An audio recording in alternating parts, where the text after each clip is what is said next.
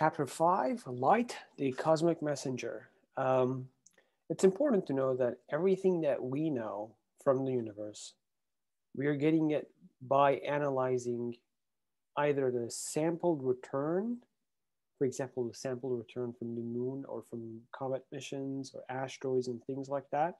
But the majority of it we know because we study the light.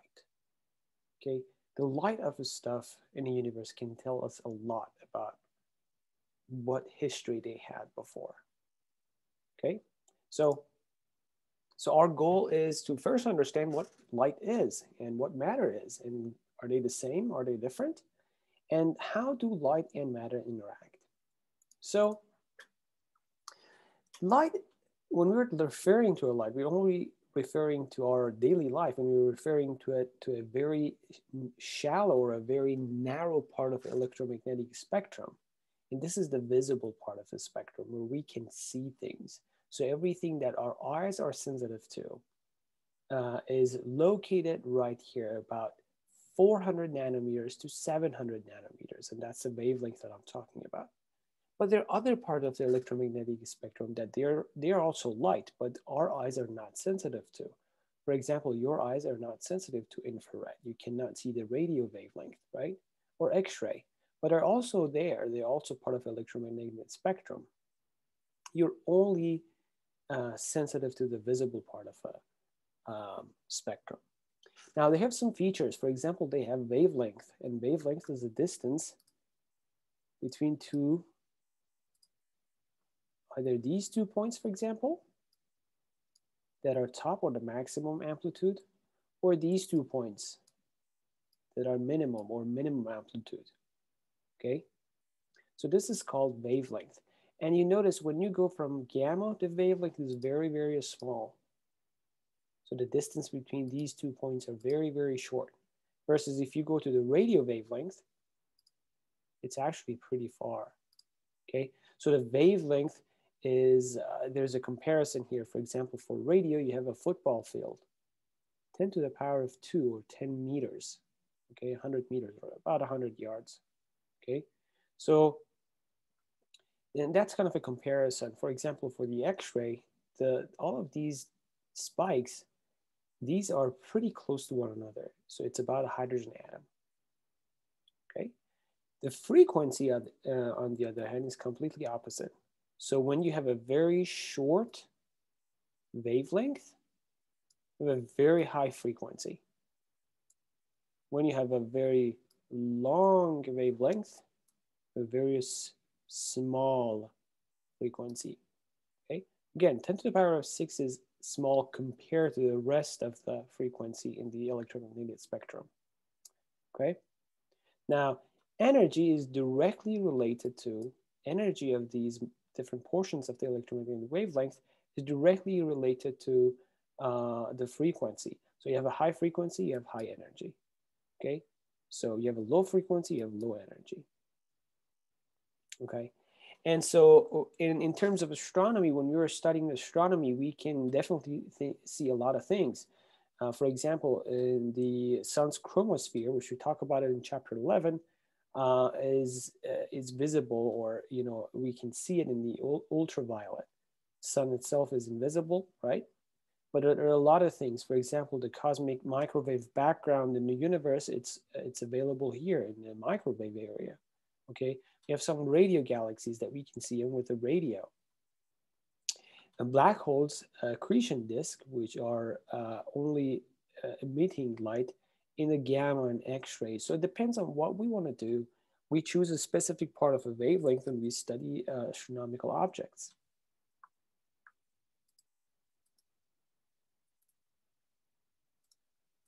So this is the definition of wavelength. Um, uh, as you can see, you already have seen it before in any physics or science class, but electromagnetic wavelength is basically has an elec uh, electric and magnetic part. In other words, when we're talking about the electromagnetic wavelength, we're talking something like this.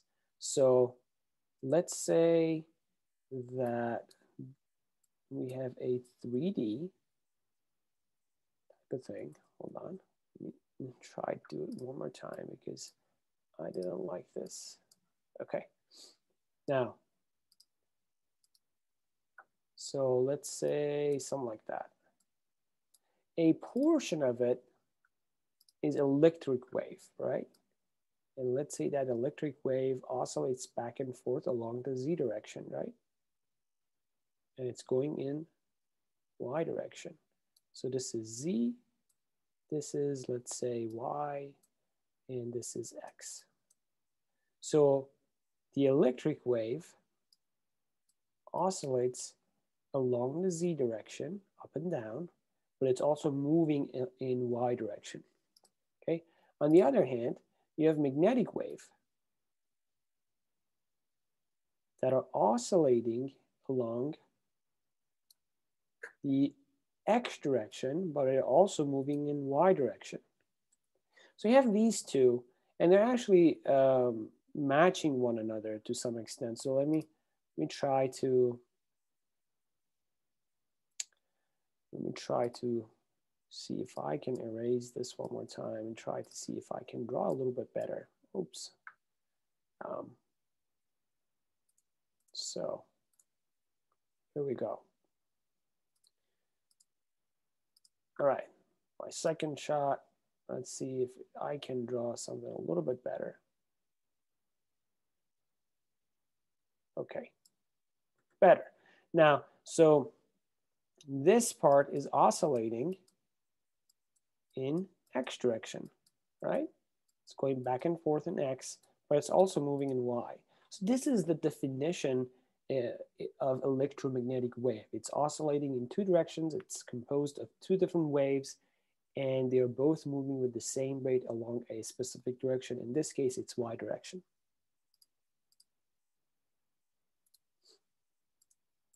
All right, so amplitude is the distance that an oscillating wave can go from the center. So if you take the center right here, okay, so this would be one amplitude up, which we showed with A, usually we show it in A in physics. So it's positive A, and one amplitude down is negative A. Okay.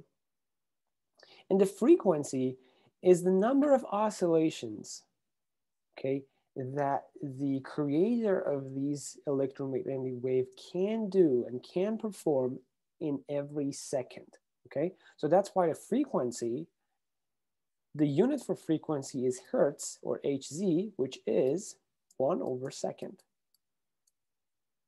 So for example, when you're saying the 200 hertz okay, it means the, the source of the oscillations oscillate 200 times per second, okay? Imagine something like this, uh, where you have,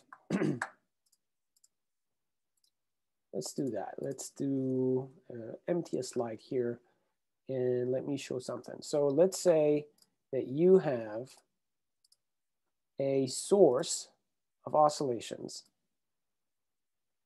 okay? that's rotating. All right, so that's oscillating, that's rotating. So let's say that there is a tiny particle that's doing that. Okay, so it's rotating around a circle. Now, if you could map, if you could map the motion of this particle in y direction, what would you see? what you would see is this, that as this object is moving from this point down, as this object is moving from this point all the way down and then going back up all the way to where it started, you can see its image along this y direction goes all the way down and then goes back up again. That's what it looks like, right? So as this object here goes around a circle, its image in y direction comes all the way down and then goes all the way back up. All the way down, goes all the way back up. Down, up, down, up, down, up, right? So now imagine that this source that's now oscillating back and forth could also move. So it's going all the way up, coming back down and it's also moving, going all the way up, coming back down, it's also moving in a specific direction, right? Now, how many times per second can this source oscillate back and forth? That's the frequency of that oscillation. That's the frequency of this wave. And this is per second. For example, this particular object that's going around the circle, it does it 200 times per second. That means the frequency of these oscillations is 200 times per second. Okay, so that's we that's how we define the frequency. So for for something like this, you have to know the source that's creating this type of wave, how many times it's oscillating back and forth. And that would be the frequency for that. The higher the frequency, the source has more energy, right? So the higher the frequency here, high frequency, high energy, if that makes any sense. Now, let's continue. So for example, here we have a wavelength of one centimeter and a frequency of 30 gigahertz. Okay, so one centimeter frequency is a specific number. Now, if you reduce that um, number, reduce the wavelength to half a centimeter, then the frequency will be doubled because you're oscillating twice as much, right? So two times 30, which is 60 gigahertz. If you, if you go down to 0.25, a quarter of centimeter, right? So the wavelength is one over four centimeter. Now the frequency is quadrupled. So it's four times 30, which is 120 gigahertz.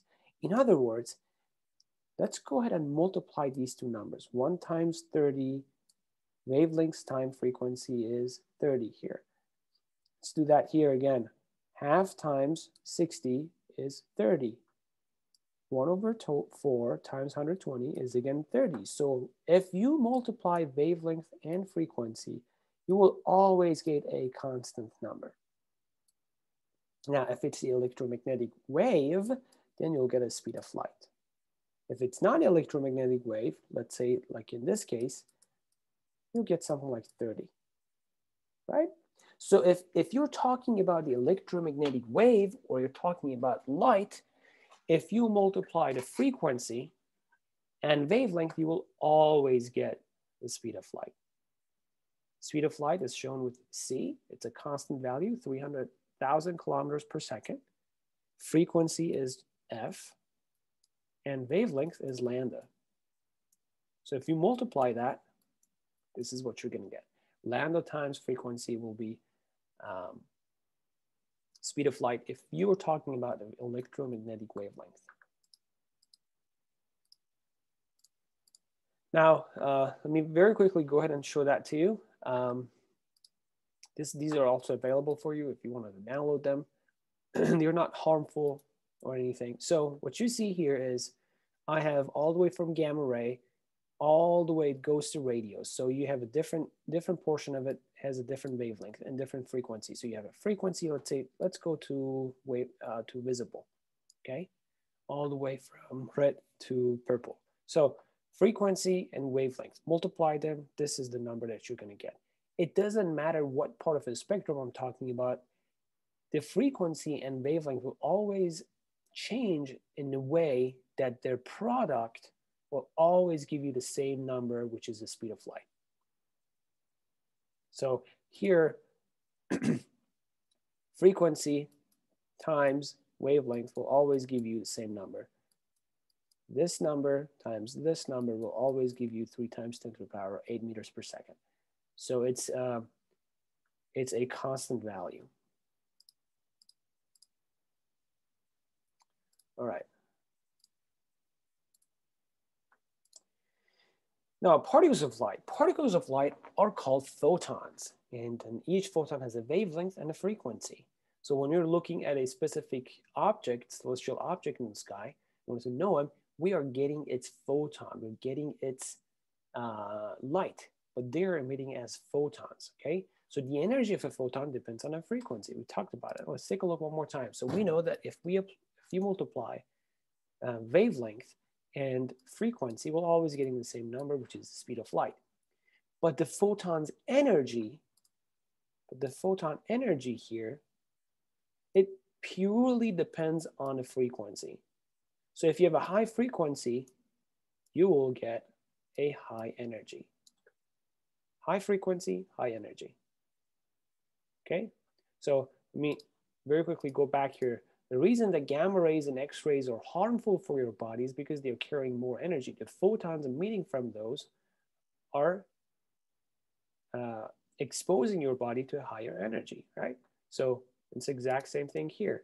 Um, photon depends directly to F or frequency. Now, what is this H? This is a constant, which we call a Planck constant. It's 6.6 times 10 to the negative 34 joules times second, or technically photons energy. Now, let's take a look at this thought question. Again, pause the video, read the thought question, uh, try to answer it, and then uh, you know play the video and we'll talk about it. So um, the higher the photon energy, A, the longer its wavelength, B, the shorter its wavelength, C, energy is independent of wavelength. Well, let's take a look. So the higher the energy, the shorter wavelength. Why? Let's take a look. Now, it, so E, which is the energy, is Planck constant, which is a, just a constant value, times frequency.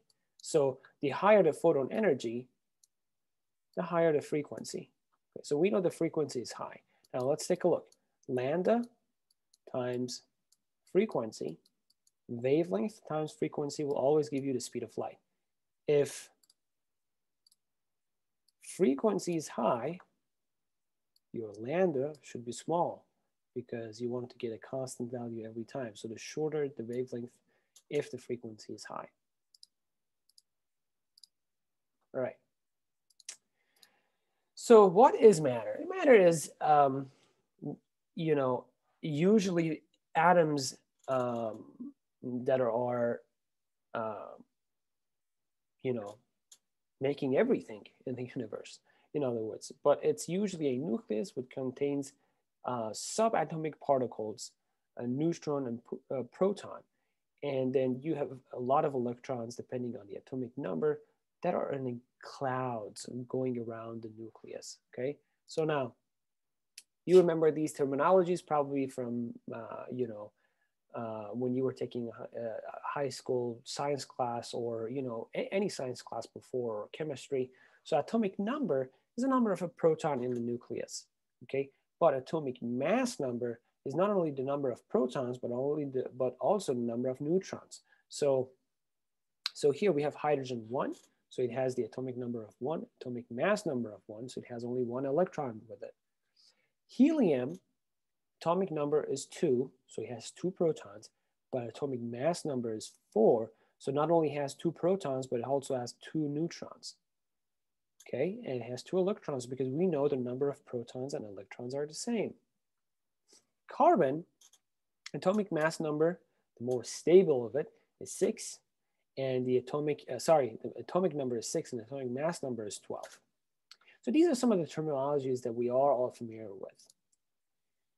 Uh, we have isotopes, and these are the same number of protons, but different number of neutrons. For example, we have um, carbon 13, carbon 14, carbon 12, which is the most stable form of carbon and most common forms of carbon. But there, there are also other, you know, uh, forms of carbons that are available. Uh, these are carbon 13s and 14s. So they have an extra neutron associated with them. So they have six protons, but they don't have six neutrons. They have seven protons here. They have six protons, but they have eight neutrons here. So they're a little bit different. So how do light and matter interact? So we have different features that we're talking about usually. We have emissions, we have absorption, we have transmission, and we have reflection and scattering. Okay, so I'll, I'll talk about some of these uh, in details today.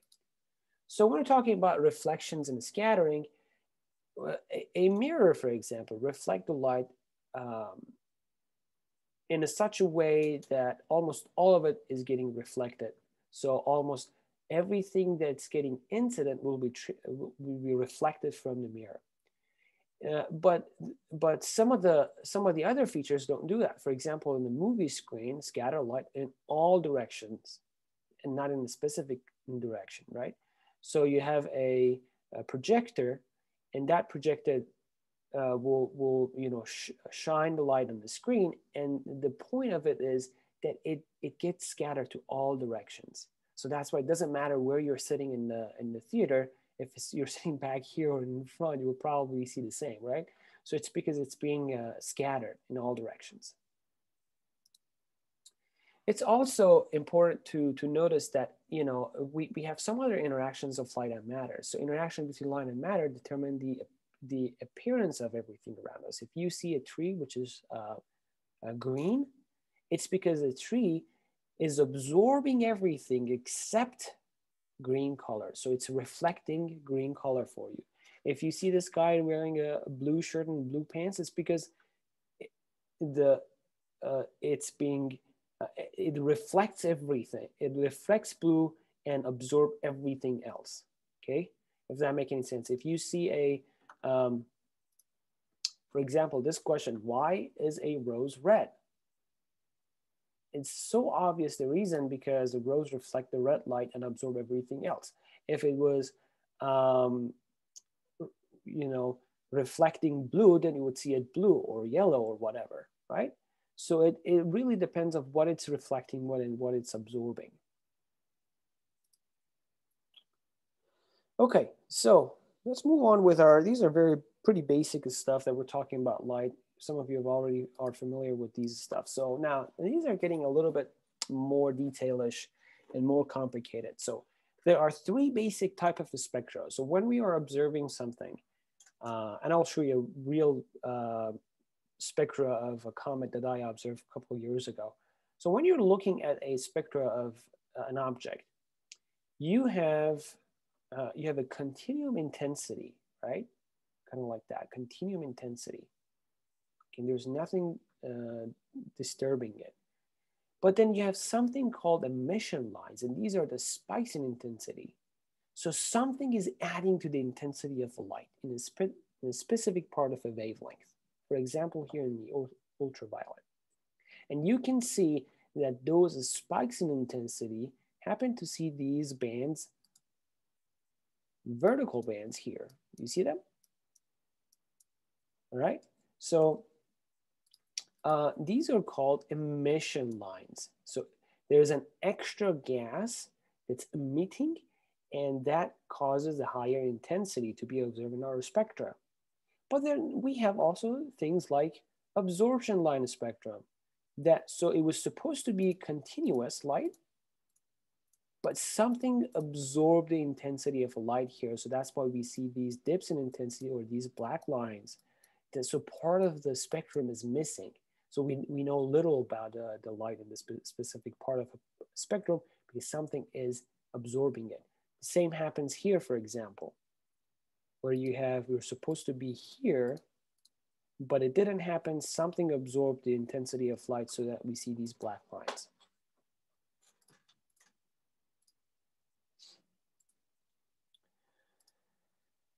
Okay. Uh, let me very quickly go ahead and open this and uh, show these two specific things to you, okay?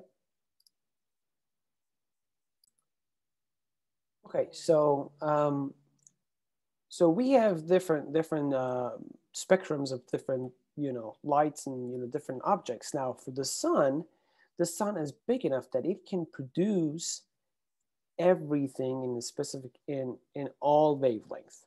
Okay, so for example, in the visible part that you can see 400 nanometers to 700 nanometers, it goes in, in, a continuous intensity that peaks around 550 or 500-ish, right? But it is essentially producing everything. Now, some of it might be a little bit less intense, some of it might be a little bit more intense, but it can produce everything for you. But if you go to a neon lamp, you can see that it's not capable of producing everything. So it's giving you a specific part of the spectrum where it can produce some emission lines, but not everything else. So you can see that there are so many black gaps here. So uh, in other words, this is not capable of creating a full spectrum with a full intensity.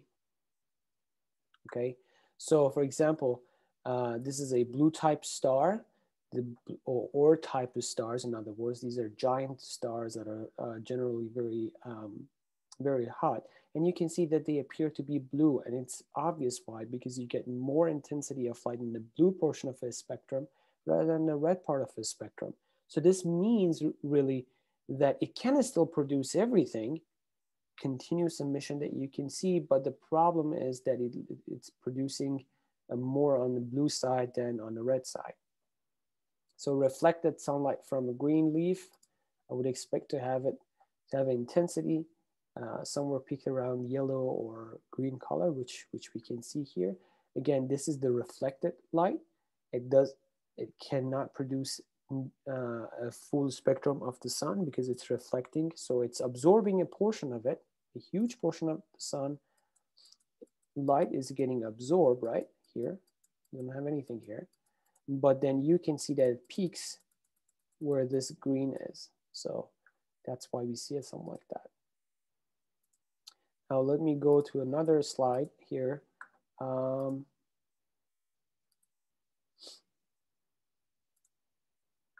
all right.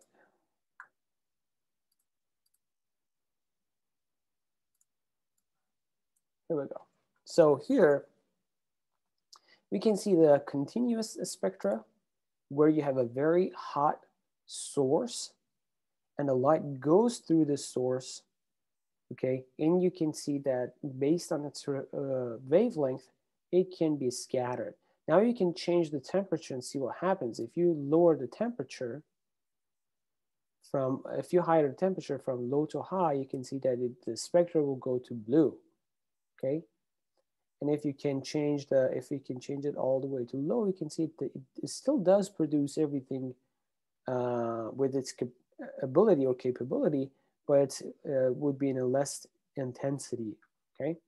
Now let's go to something like emission line where you have a very cold gas and the cold gas is uh, creating a specific part of the spectrum. And you can see that you can see only this specific part being emitted because this is a cold gas okay? Now, if you can change the temperature, what's happening is that the position of these are not changing, but the width of these lines are changing. Okay, it means that you're getting more emission. Now let's go to a specific example where you have a hot source. The light of that hot source goes through the cold gas and cold gas absorb a portion of that light but let the rest of it to transmit. So that's why you see that there are dips in intensity here because a specific portion, let's say that you have a sun, sun here or a star here, but the, you're looking at the sun or that star through a cloud, a very cold a gas cloud, let's say a hydrogen cloud or a nitrogen cloud, then what's happening is that you can um, you can you can see the spectra, right? But there is there are these dips in intensity because if the gas is absorbing it. If you can change the spectrum, nothing will change, right? If you change the temperature, you're still having the uh, absorption features here, but the, the, the difference is that you're, you're also creating more intensity of light. All right, let me go to our uh, PowerPoint to continue. So we talked about these two me very briefly go, go over here. So we saw the continuous spectra uh, in the example that I just showed you. This is a, a very common uh, light that we get from stars that are uh, continuous, um, just like what we see from the sun. If you have a very uh, cold gas, and so that, uh, that can, some of these molecules can cascade from a higher energy levels to a lower energy levels causing these emission lines or the spikes in intensity. So we can learn a lot about the composition of these molecules that are covering the, uh, you know, between the galaxies or interstellar medium and things like that. And then we have the absorption light spectrum. If you have a hot source that's creating everything in all the uh, wavelength, but then that goes in uh, a, uh, you know, goes through a cloud of cold gas. So some portion of it will be absorbed by the gas, but the rest will go through. And so that's why we see these dips in intensity because this gas has absorbed some part of the spectra. And this is a real uh, spectra that we get from these some of these objects. Well, obviously this spectra is really noisy, but what you can see here is that these dips in intensity that you see here, boom, one here, here, here, these are because we have atmosphere in our way. Our own atmosphere is blocking our view. But then you have these spikes in intensity here. And we model these, and these are, for example, C2H6 model or methanol model. So, so depends on what we have, what type of gas we have, uh, we can model it and realize, okay, so for whatever, whatever that I was looking at in the sky, whatever comet, whatever cloud, whatever it was, it had some C2H6 inside, ethane inside. It had some, some uh, ammonia or some methanol inside, excuse me, some methanol. So it really depends on what type of a wavelength or frequency we're looking at. And then so we can start uh, understanding what type of a gas we're dealing with here.